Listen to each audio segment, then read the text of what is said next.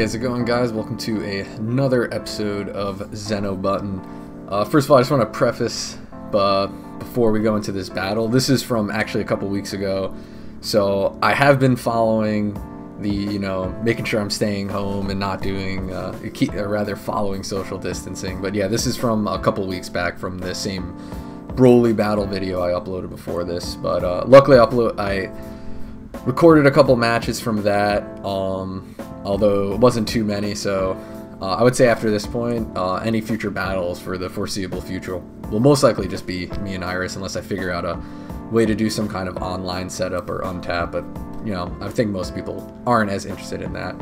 But anyways, uh, sorry for that. The image is a little bit cut off. Uh, I'm playing against my friend John here. He's playing the Surge Red Green, yeah, Red Green Broly. Um, you can't really see his leader; it got cut off I'm still new to filming at locals, um, but I went first, and luckily I was able to put that Android 17 in rest. Broly attacks. If you don't know what he does, when you combo the red or green card, I believe, you draw two cards. So he's doing this Frieza, he combos it, and then he's able to uh, grab an extra card from his deck, put it in the draw, which is Dormant Legend. I still don't really fully understand the Broly chain. I've never really played it, um, and I've only played against it a handful of times. I just know you need that card in the drop. I'm not exactly sure, but he's drawn two right there, so it's pretty decent. Um, and I just took took the one hit, and then uh, I believe he passed. So, um, like I said, this was kind of like a, a, new matchup for me. Um, I, as you'll see, you either freaking draw all of your multicolor charges like that, or you draw none of them. It's super annoying, but this matchup I got lucky. If you see, if you saw my other Broly matchup, uh, you would have seen that I don't think I drew a 17 until turn four, even though I was digging for him. Um, and I pass turn, just keep my energy open. He puts that Raditz in rest mode, and he's probably just to slowly dwindle away on my leader. Um, that Frieza is honestly great uh, because he rips a card out of his deck, right? So he's thinning it out, and then he draws two. So when you think about it, you're kind of filtering three cards through the deck. Um, he's building up a hand. I haven't even touched his hand yet. Granted, it's only turn two, but like at this point, he's putting a little bit of pressure on me. Um, but here, I'm starting to play a little defense doing the special beam cannon. I'm just showing him it's 10k and then I get to choose a card. Um, just once again, I'm trying to play defense and just pick away at his uh, at his hand. And look, that's the champ Broly. Off the top of my head, like I said, this is a couple weeks ago. I don't remember what he does, but I know he's pretty cool, and I think he has a way to be played for two energy. As it looks like the activate main is, but um, so I got a little bit lucky picking that one out. Um, but yeah, this was an interesting matchup because I wasn't sure what he did. I felt like he was going to do something ridiculous when he got to a high energy total. So like Piccolo is kind of weird where you, at least for me, like I've only played it a couple times. I'm trying to find the the mix between when do I go for the kill, when do I leave him at eight life? Because you know I'm leaving him at eight life. My life is slowly dwindling.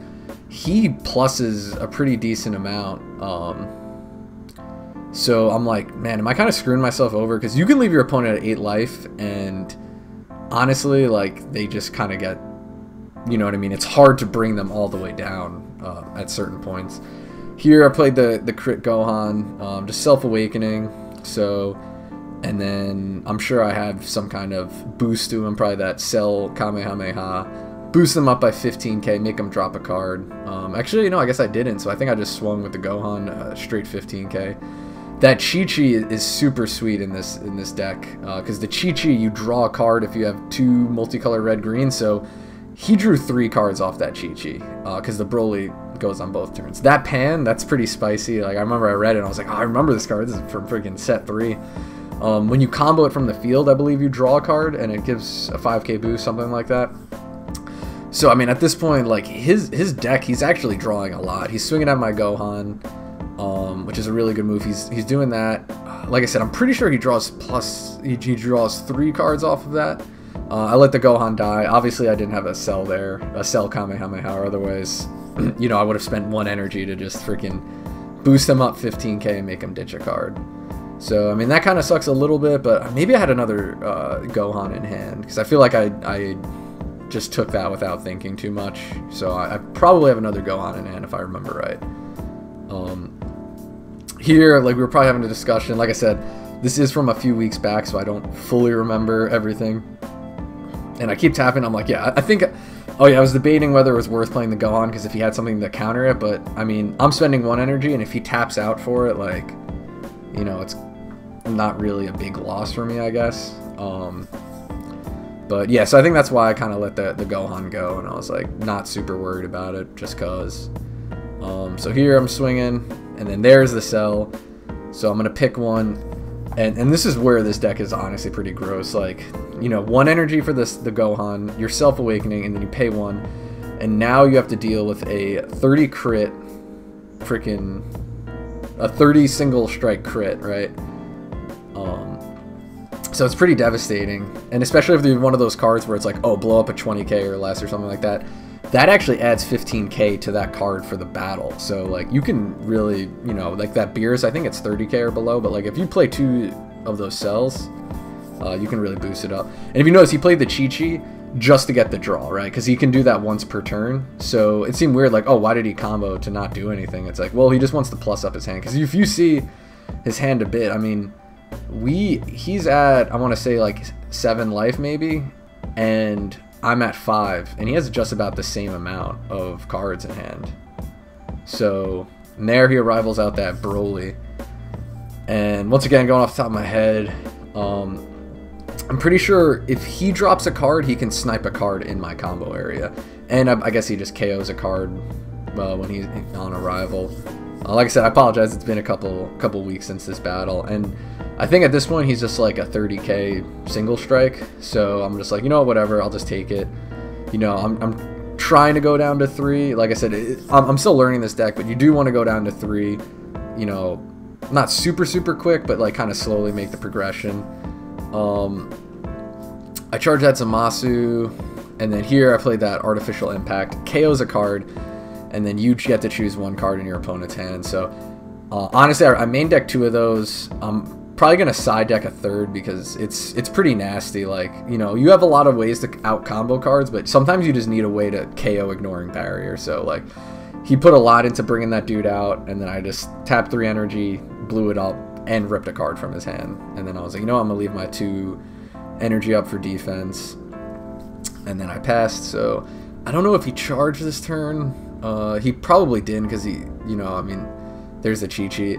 Um, you know, it is a little bit of a struggle of like, do I want to uh, charge and have less of a hand or anything like that? So he put me down. I just took it because I'm like, I'm gonna go down to three. I think, yeah, you, you can see I have two Cell Kamehamehas in my hand. I have a Vegeta the Cruel. I was like, all right, let me bait down to three. He blew up two of my Gohan, so chances are I don't really have one right now. Um, and I think I talked this over in the other match. Like, I'm thinking of stuff to charge. Um, I'm going to always charge green energy because the Cell Kamehameha requires all of your energy to be green. Not mono green or anything like that. It just needs to be green, period. So, you know, I'm constantly charging those green uh, mono colors. I got really lucky. I have three 17 cards, so I can tap those if I have a D magic, play that. I can even take a life and untap two of the blue green. So, or if Senzu Bean, uh, you know, just a lot of untapped potential. Although you'll usually see me tap the monocolored greens unless I have a plan to untap, then I'm going to tap the, the blue greens. So here, I think I literally just passed because I had nothing to play. Um, yeah, I just had a lot of like defense in hand. I think that was primarily what my plan was going to be. Um, and there's another Frieza. I think it was actually, if I remember, I think it was literally the next card he was going to draw. So he plays the Frieza just really thinning his deck out. Um, like I said, he he draws a lot. Um, you know, I've been doing crit attacks. You know, I've been picking away at his hand, and he still and, and he did a rival, and you know what I mean. Like he's been doing a decent chunk of stuff. So here, once again, I have no idea how that card is played. I forgot what it does. I remember I read it, and I'm like, this is annoying. I have a lot of energy. I'm just gonna do that old classic hidden potential. Um, you know, my, my hand's pretty decent at this point, and I'm really just trying to whittle his hand down until like there's really not much he can do. And then I just out combo. Um, I probably didn't have a Piccolo special beam cannon because at that point, you know, I would have just used that because I only needed to go up to 20k. But you know, you got to do what you got to do sometimes. You know, just like I said to the pick away at his hand, passes back to me. I still haven't awakened, and like this Piccolo leader, like if you, oh, geez, I got freaking four 17s. Um, but like, yeah, if you if you don't really do anything to Piccolo and you let him get to what is this turn seven, and they haven't awakened, and you know I'm at three life, like I'm gonna have a pretty fat hand at this point. Um, let's see, I'm trying to think. I don't think I really have. I, I do have the SS4 Vegeta Secret Rare in hand, but I think I don't know if I was nervous about uh, a Toppo, or maybe I didn't have a blue green because my deck is very focused on the Zamasu engine, uh, the the Cell Kamehameha.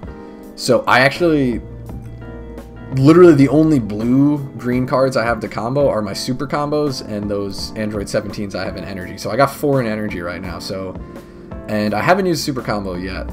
But oh, sorry, I'm, I'm playing. went ahead a little bit. So he played Nappa. He's playing another one of that Broly. Um, he has nothing to pop on my board, so I'm like, okay you know, whatever. I have no real counters to it because it's a 6 drop 30k. Here, at this point, I'm just going to play defense. You know, he comboed the super combo, so I guess he's at 20. I just rip rip another card. Because that's the problem with Arrival. And here is kind of the turning point in the game. I'm playing a Vegeta the Cruel. And I kind of have to be like, you know, if he has a Denial of Hope, whatever. But I'm like, if I'm, you know, he only has, what, three cards in hand? I'm like, even if he denial of hopes it, I'm still kind of winning because he has such a small hand size. Like, there's really nothing he can do. And if this Vegeta goes off, he's going to lose the Nappa, which means he's losing that added 10k value. And in addition to that, he's losing, a, he's warping a card from hand. So unfortunately, he didn't really have a response. So this is what I'm going to say was kind of like the turning point where like he lost a lot of his hand arrivaling stuff out, and I was able to like kind of murder most of it. Um, Although, I mean, if you notice, he still has like seven life. But as you saw, I had that uh, the secret rare in hand, so I was feeling pretty safe. I took the life because at this point, I'm like, I'm feeling pretty confident, and I'm like, I might as well just have an extra card in hand. Um, hopefully, I have a hidden potential because maybe he has a Toppo in hand, even though he charged two. He probably runs four, so he might have a Toppo in hand. I need to make sure this uh, Vegeta goes off, and I think I'm looking at that just to make sure he doesn't blow up any cards like on play or anything. I just know it's the combo. And here I'm trying to remember. I think I have the super combo uh, to arrival it out, or I can't remember if this is the match. Okay, yeah, I remember now. I'm doing the special beam cannon to just plus him up because I'm about to awaken, and I didn't want to just waste an awaken for no reason, essentially. And let's see, I'm doing the Roshi, comboing him. And now I think I'm searching for a blue card. Like I said, I apologize for not really remembering too, too much. Um, in here, I'm doing my Surge Awaken. He's just going to send that Vegeta to the drop just to do it for the hell of it. Um, I'm Awakening, I undraw, or untap one, draw three, and then I was probably looking for a blue card, if I remember right.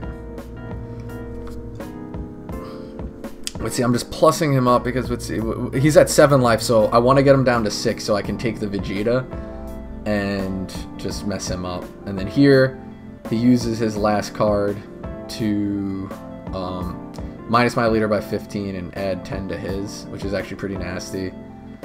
Then, oh, I thought I played the Vegeta SS4 here, but I think I was just honestly trying to play it ultra safe maybe.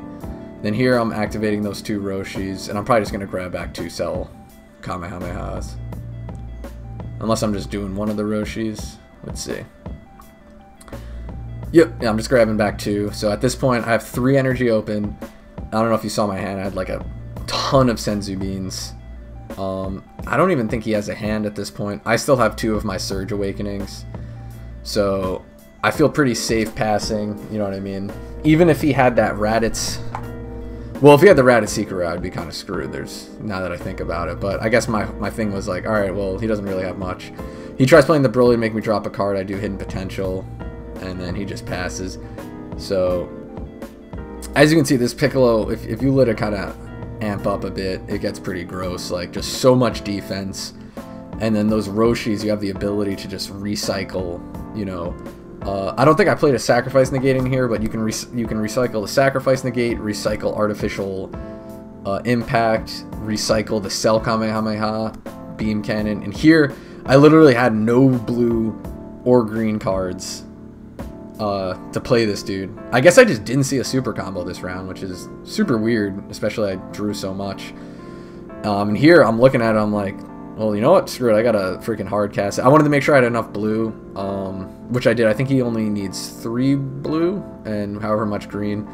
And then at that point, he just scooped because um, I believe he only had six life. So uh, he was literally, or even if he had, yeah, there, I had the next four cards, three of them were super combos. But basically, he scooped at that point because he either had seven or six life, but regardless, he had no cards in hand. So even if he had seven life, I would have taken the Vegeta did triple attack, crit. Um, he wouldn't really be able to do the awaken until it was too late, like his surge ability, because he had no cards in hand and he wasn't going to plus because of the Vegeta.